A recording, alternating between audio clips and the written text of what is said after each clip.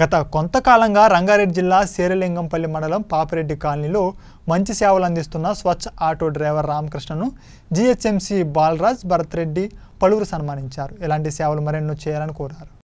ఈరోజు మన కాలనీలోన జాతిపిత మహాత్మా గాంధీ దగ్గర ఒక క్లీనింగ్ చేసేసి ఒక ప్రోగ్రాంలోన ఎవరైతే బాగా పనిచేస్తారో ఒక జిహెచ్ఎంసీ వర్కర్ అయినా సరే జిహెచ్ఎంసీ ఆటో డ్రైవర్ అయినా సరే ఎవరైనా కానీ జిహెచ్ఎంసీ సిబ్బంది గారికి మన కాలనీ పెద్దలతోన సన్మానం చేయబడాలని ఈరోజు ఒక ముఖ్య ఉద్దేశం.